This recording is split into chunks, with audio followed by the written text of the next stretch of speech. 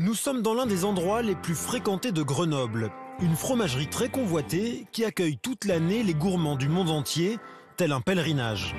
Quoi, t'as 30 balles de budget, c'est ça? Tu vas voir. Tu vas voir qui c'est le patron. Le patron, c'est Bernard Murravo, l'homme à la moustache le plus connu du pays. 30,04 euros. Il est où le problème?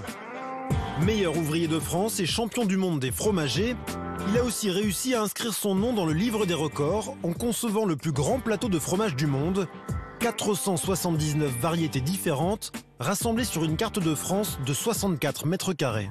Petit Saint-Marcelin, petit Baru, Saint-Etienne de Saint-Joire. Elle se lèche les babines tellement elle va se régaler. Regarde. On n'est pas à Paris, là, s'il te plaît. Raclette aux fleurs, au piment, raclette au bleu. Assez varié. Je vais te mettre des petits morceaux, je vais t'en mettre plein. Mais le succès ne l'a pas éloigné de sa ville natale, bien au contraire. Car c'est bien derrière son comptoir, au contact de ses clients, qu'il se sent le mieux. Véritable showman, il aime leur faire découvrir des spécialités de saison, essentiellement françaises. Ses rayons en comptent des centaines. 258 ce matin, la dernière comptée. Tous les matins, je compte. Je les touche tous les jours, je suis obligé. Je les touche, je leur parle le matin. Tu vois, là, c'est la grosse saison de la raclette. Et en raclette, on a 18 variétés. Donc, si tu veux, il y a la gourmande, il y a la gourmande, il y a la gourmande en face. Elle cherche encore quelle, quelle elle va rajouter. Bernard Murravo, 54 ans et presque 40 ans de métier. À tout juste 15 ans, pour gagner un peu d'argent, il commence à vendre du fromage sur les marchés. À 20 ans, il achète sa première fromagerie. Autodidacte, il grimpe pas à pas les échelons jusqu'à toucher les étoiles. Le Graal, il est là, quoi. Je veux dire, ça, c'est. Voilà. Le concours des meilleurs de France a été créé en 2000. Et en 2000, j'y étais.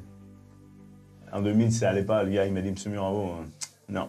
Je vais taper sur l'épaule, je fais, tu sais quoi, tu me regardes. Parce que dans 4 ans, j'y suis. En 2004, j'y suis allé.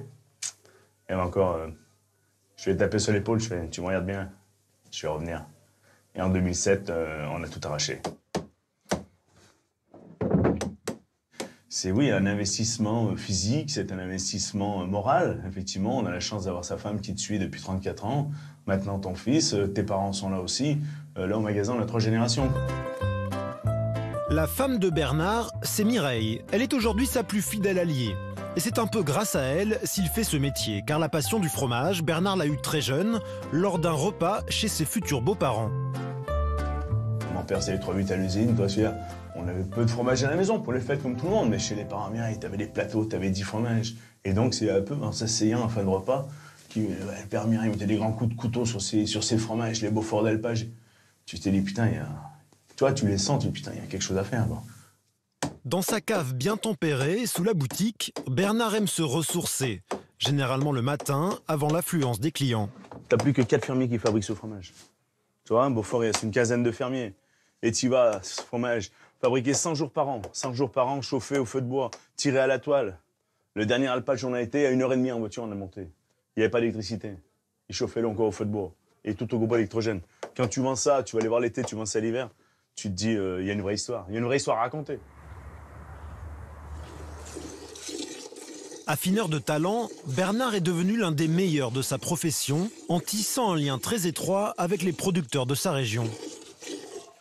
Et bonjour Ah bonjour. Tiens donc. Plein boulot Ouais. Je Il finis reste- celle-là. hein, Il reste que encore un peu Je, je peux pas la Ouais. laisser en rade. Vas-y. Ouais, ouais, ça va Ouais. Bon, ouais, ça va. C'est chaud, c'est bon, c'est. Voilà. C'est pour ça que les clients se régalent. François fabrique des fromages lactiques, type picodon, avec le lait de ses 50 chèvres alpines chamoisées. Et s'il les traite à la main, ce n'est pas pour le folklore, mais tout simplement par conviction. La traite à la main, c'est justement pour euh, capter au maximum tous les ferments qui sont autochtones, qui, nous sont propres, qui sont propres à notre élevage. Si les bactéries qui sont dans le, le bâtiment sont bonnes, si les ferments sont bons, les animaux sont en bonne santé, et le fromage automatiquement sera bon derrière. En trayant à la main, vous pouvez faire tout ce que vous voulez, personne ne pourra faire le même fromage que nous. C'est ce qui fait la spécificité et l'envie de travailler avec des gens comme ça. C'est vrai que en écran, de faire tout ça à la main, tout le temps, tous les jours, c'est c'est juste, c'est juste magique. Mais en hiver, le fromage de chèvre est rare, car avant de mettre bas mi-février, les bêtes doivent se reposer. Alors Bernard, très dépendant des saisons, doit dénicher sans cesse de nouvelles variétés. Dernière en date, le Saint-Pognard d'Aurélie. Le Saint-Pognard, c'est le nom de l'habitant de Saint-Paul-de-Vars. Je suis Saint-Pognarde. Le fromage est un cours de géographie. Quoi. Je veux dire, quand on parle d'un fromage, on parle du nom et on localise exactement où il a été fabriqué. Euh, moi, l'été, mes Saint-Pognards en Loire ont tendance à sécher. Et alors, je voulais savoir si je vous les livre plus jeunes, est-ce que vous, vous pouvez les rendre crémeux comme ils sont aujourd'hui Alors après, ouais, on essaye de les travailler et on met un degré hygrométrique en plus. C'est vrai qu'on a tous le même problème, donc il faut humidifier un peu plus. Et donc, c'est de la vaporisation sur le produit. D'accord. À force de courage et de travail, Bernard est devenu l'un des meilleurs ambassadeurs de la gastronomie française à l'international. Et au quotidien, il forme la nouvelle génération. Car aujourd'hui, il n'a plus qu'une seule idée en tête, transmettre. Nous, on avance, mais bon, et à un moment donné, il faut savoir transmettre. Sinon, ça sert à rien. Tu gardes tout pour toi, t'es mort.